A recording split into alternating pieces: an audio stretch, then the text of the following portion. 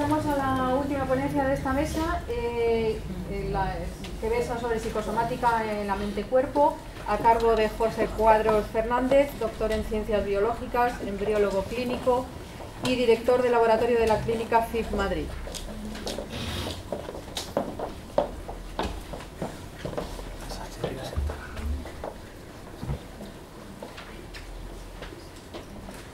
Buenos días. No seré yo el que discuta con Eric Kandel.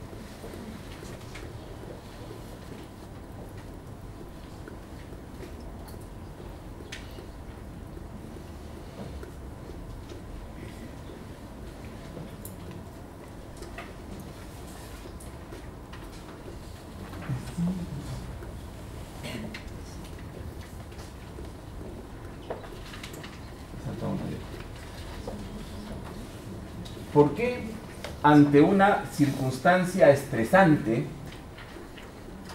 un terremoto, por ejemplo, pero un terremoto no los de aquí, los de mi tierra, yo soy peruano de origen, 7 grados en la escala de Richter para arriba, ¿por qué una, una circunstancia estresante? Una final de la Champions League, por ejemplo.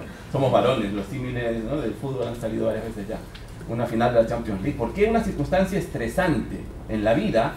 Para algunas personas, algunas personas las pueden asumir con racionalidad, con calma. En cambio otras las asumen con pánico y salen corriendo desesperadamente echando abajo todo lo que se les pone por el medio, sobre todo cuando acaba el partido. ¿Por qué? ¿Por qué las personas reaccionamos de manera diferente ante una misma circunstancia estresante?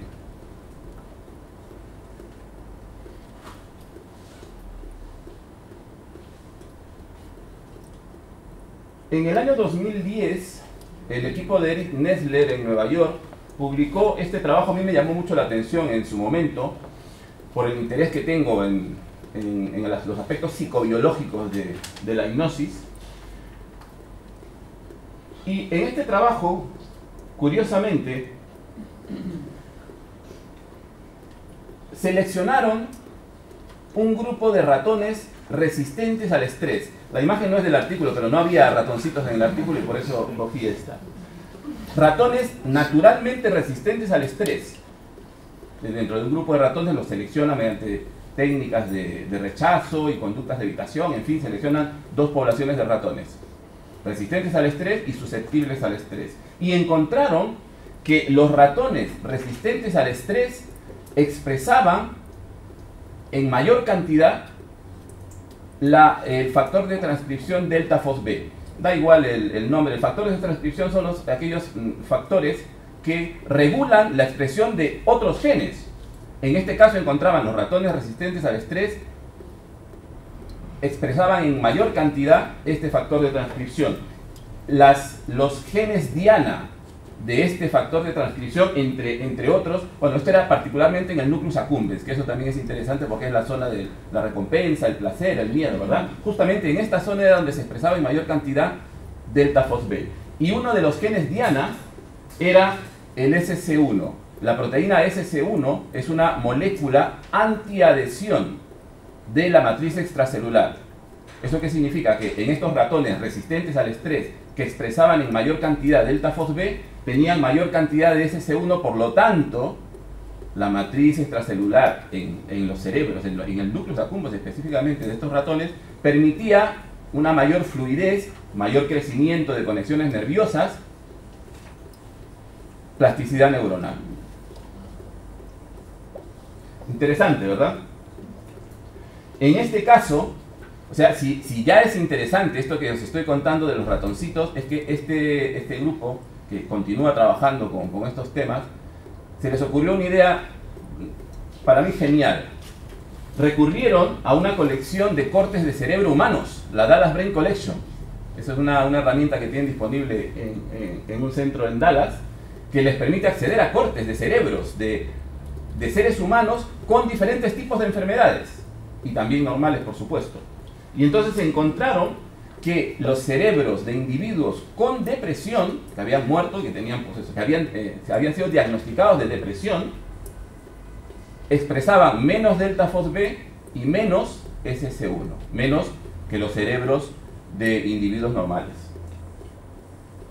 Por lo tanto, en este artículo, en este trabajo, concluían que eh, la mayor expresión del delta FOSB en el nucleus accumbens, pues permitía una resistencia al estrés en los individuos que, lo expresaban y además les, los capacitaba mejor para combatir la depresión, porque además el delta FOSB por lo visto es la vía de la fluoxetina.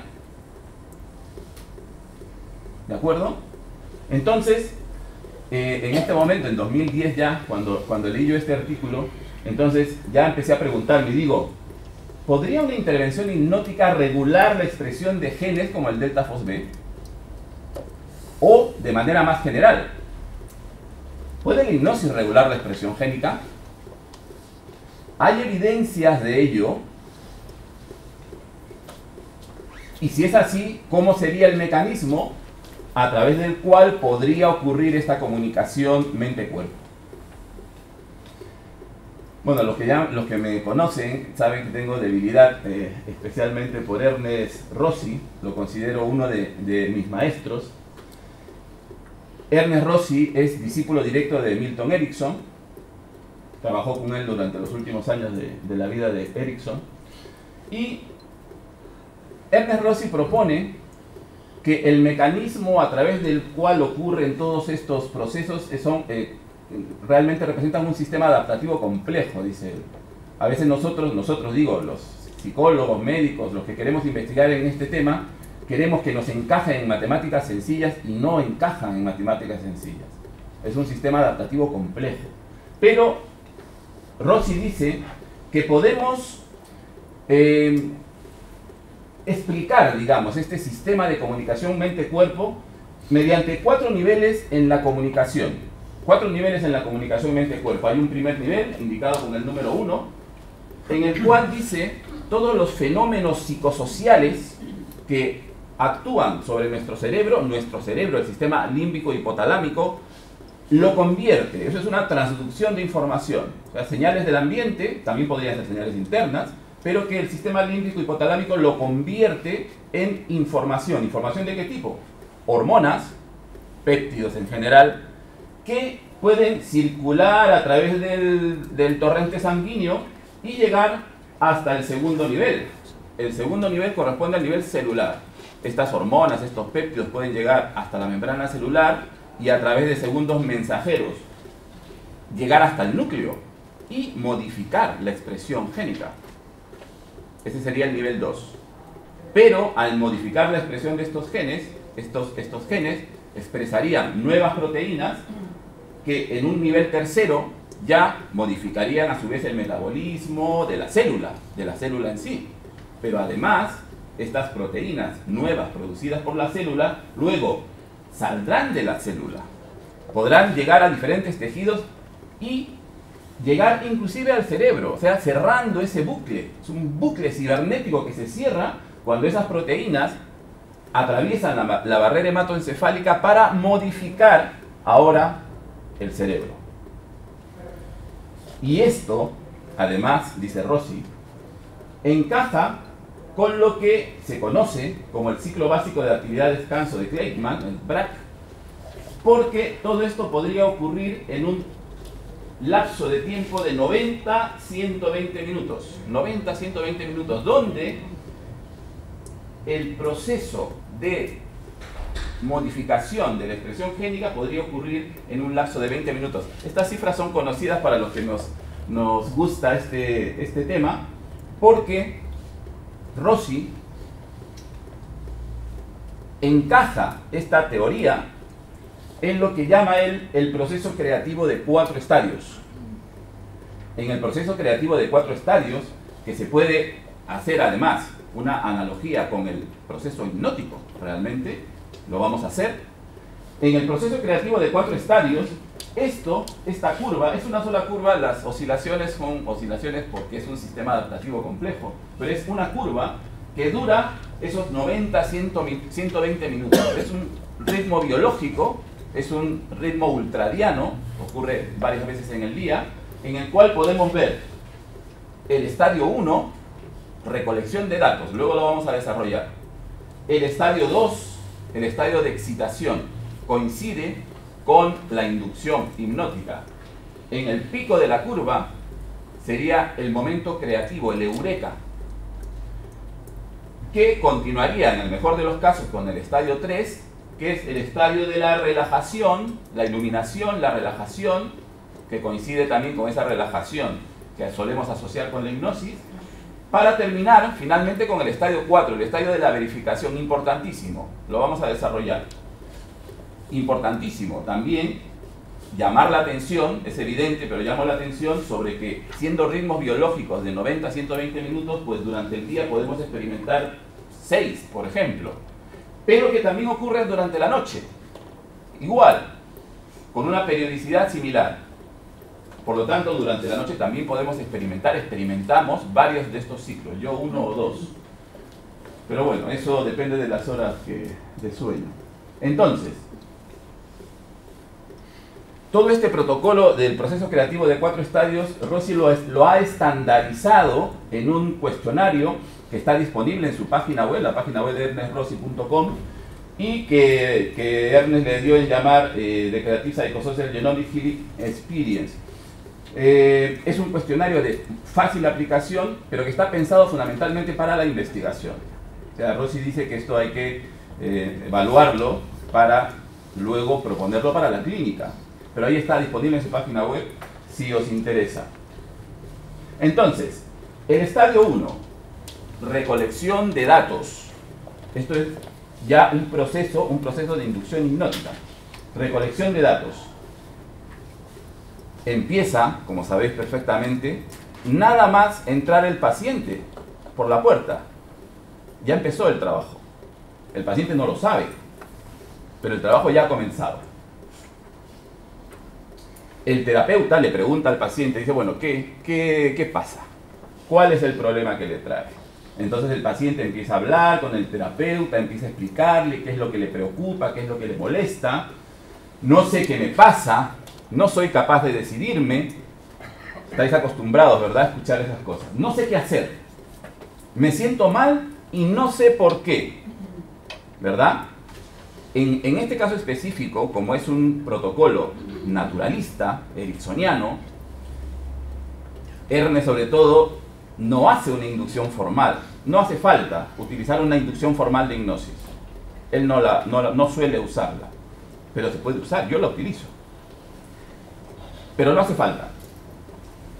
La idea es que en determinado momento, mientras estamos hablando con el paciente, el, ojo experto se da cuenta de que en determinado momento el paciente cambia su actitud.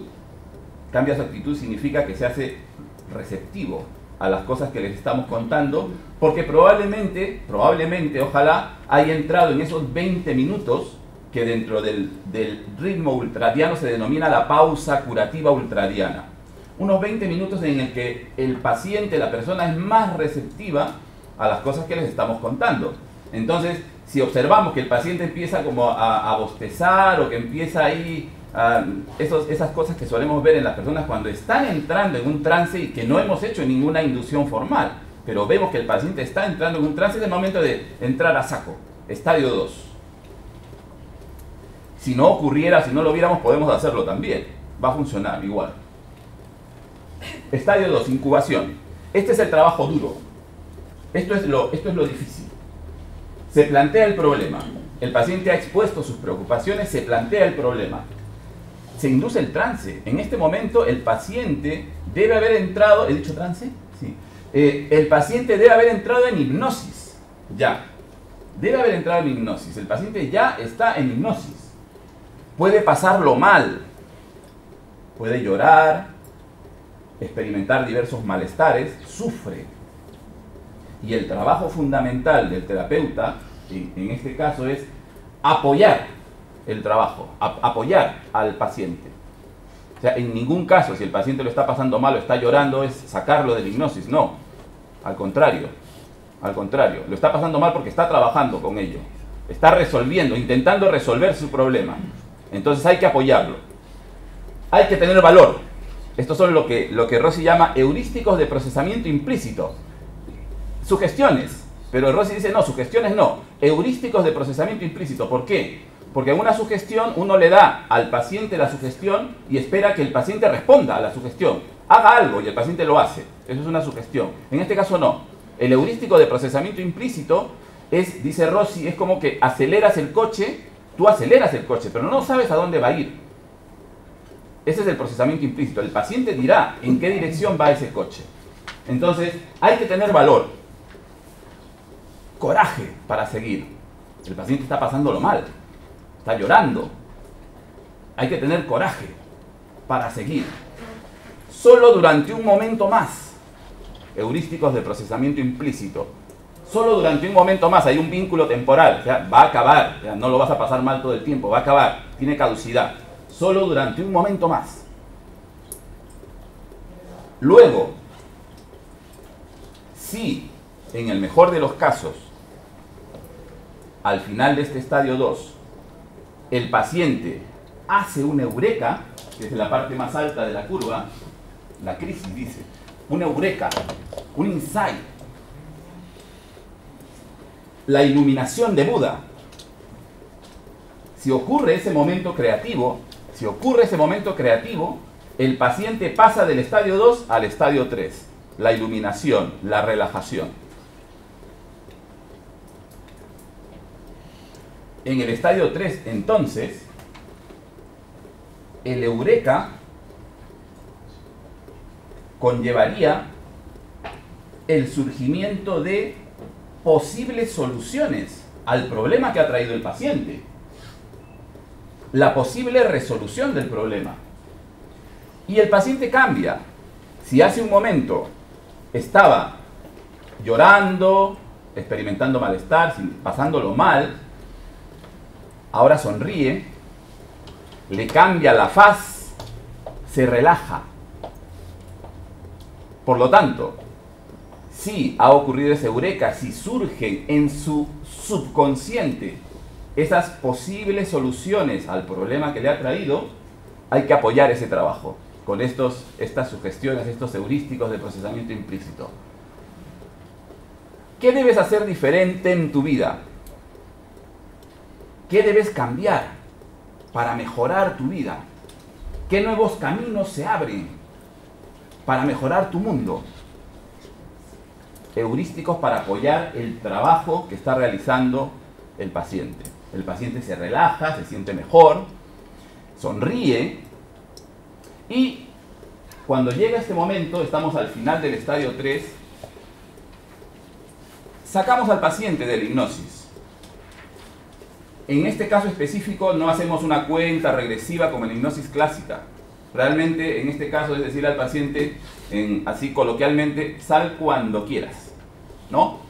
El fraseo, para los que, los que queráis experimentarlo esta tarde, porque el taller de esta tarde va a tratar sobre esto, lo veréis pero no hacemos una cuenta regresiva. Le decimos al paciente que cuando su subconsciente lo considere oportuno saldrá de la hipnosis. Y el paciente abre los ojos y sale de la hipnosis. Y cree que el proceso ha terminado. Sabemos que no. Él cree que el proceso ha terminado. Ya salió de la hipnosis, ya despertó del trance hipnótico, pero sabemos que el trabajo no ha terminado. Falta el estadio 4, la verificación, importantísimo. Importantísimo. Porque si el paciente, si el subconsciente del paciente realmente ha recibido esos insights, esos eurekas, esas posibles soluciones a su problema, tiene que aplicarlos en la vida real. Porque si no aplica esa posible solución que le ha surgido, significa que no resuelve el problema. Y por lo tanto, de estar en el estadio 3, regresa al estadio 2 y vuelve al bloqueo, al bloqueo que lo ha traído a la consulta. Porque simplemente puede ser que, aunque le haya surgido esa posible solución, diga el paciente, ¿no? Diga, es que no sé si será una solución de verdad, es que no sé si voy a aplicarla, es que no. Vuelta al estadio 2, el estadio del atasco, del bloqueo, de pasarlo mal. El problema no se ha resuelto. Entonces, qué es lo que debe hacer el paciente y qué es lo que debemos, una vez que ya el paciente ha salido de la hipnosis, que cree que ya terminó el trabajo, qué es lo que debe hacer el terapeuta en el estadio 4. Verificar que el paciente haya tomado la decisión de aplicar en el mundo real esas posibles soluciones que han surgido durante el trabajo. Con el objetivo final, de estas frases de Rossi, ¿no? que es lo que realmente se pretende con todo este trabajo, es convertir esos síntomas que trae el paciente, esos síntomas del cuerpo, en señales. Y los problemas en recursos creativos. Ese es el objetivo, el objetivo final. Todo este trabajo lo realizamos mediante movimientos ideodinámicos de manos. No os cuento más para no... Spoiler, para no chafaros lo, lo del trabajo de esta tarde, pero todo se realiza con movimientos ideodinámicos de manos. Esto está basado fundamentalmente, bueno, Rossi lo explica, por la representación en el homúnculo sensorio motor de las manos. O sea, las áreas que representan las manos en, el homúnculo sensorio motor son tan grandes que dice Rossi que los movimientos de las manos podrían poner en marcha conexiones entre las neuronas de estas zonas de las manos con otras zonas asociadas de la corteza cerebral, provocando cambios, cambios plásticos. Esta es una representación en 3D del, del homúnculo, no es un pariente mío. Y bueno, todo esto, Ernest Rossi, lo, yo soy coautor de este trabajo que publicamos en, 2010, eh, lo, lo aplicó en un estudio piloto con tres voluntarios sanos, tres estudiantes sanos, donde demostramos que después de una intervención de este tipo, una hora después de una intervención de este tipo, había 15 genes que se expresaban de forma diferente. 15 genes se expresaban de forma diferente, una hora después de la intervención. Y 24 horas después eran más de 70 genes los que se expresaban de forma diferente. Ahora, ¿eso qué significa? O sea, ¿qué significa? ¿70 genes de qué? Pues 70 genes relacionados con plasticidad neuronal, con crecimiento y maduración de células madre y con reducción del estrés oxidativo e inflamación. Todo muy bueno para la salud. Estos son los genes relacionados con la plasticidad neuronal, maduración de células madre, reducción del estrés oxidativo. Es un estudio piloto, son tres voluntarios sanos. Sé que, que Rossi tiene más de 20 ya, pero no sé cuándo, cuándo se publicará la actualización de este, de este trabajo. Entonces, a modo de conclusiones, podemos decir que el organismo humano funciona como un sistema adaptativo complejo con sus propios mecanismos de autorregulación y mantenimiento de la homeostasis. Muy evidente. Al igual que los factores sociales, esta es frase de Rossi, la psicoterapia puede realizar modificaciones epigenéticas, promoviendo la plasticidad neuronal y la maduración de células madre. Y una intervención hipnótica, al menos del tipo de la experiencia curativa de la genómica psicosocial creativa, puede regular la expresión génica de una forma positiva para el mantenimiento de la salud e inclusive para la curación de enfermedades. Luego, resulta que Vargas y yo, Vargas está por ahí atrás, en base a todos estos conocimientos, diseñamos un método, un método que, al que llamamos Metafor A. El, 4 es por los cuatro estadios, porque realmente lo que hemos hecho nosotros es aplicar este protocolo de cuatro estadios, incrustarlo en una metáfora. Antes Ian estuvo hablando de la importancia de las metáforas, del valor de las metáforas. Lo que nosotros hemos hecho es incrustar todo este trabajo en un cuento, en una historia. Que podemos además, eh, estamos hablando de metáfora, es lo que hemos registrado, pero ya tenemos un B, un C, y esta tarde vamos a estrenar el D, el Metafor Duo ya lo, probaréis. Y simplemente decimos es una herramienta para poner en marcha nuestros mecanismos naturales de autocuración. Esto está pensado para personas sanas. Los, los pacientes, los que tienen patologías, tienen que ir al médico al psicólogo. Esto está pensado para personas sanas. Si vienen enfermos y se curan, yo ya no tengo la culpa. Pensamos en el mantenimiento de la salud, resolución de problemas y crecimiento personal. Y lo, mencionó también Joan Manel esto encaja dentro de ese proyecto más grande en el que estamos trabajando, al que llamamos Hipnotraining. Metáforas que incorporan el proceso creativo de cuatro estadios con reflejo de manos para convertir los síntomas en señales del organismo y los problemas en recursos creativos. Gracias a vosotros y gracias a ellos también.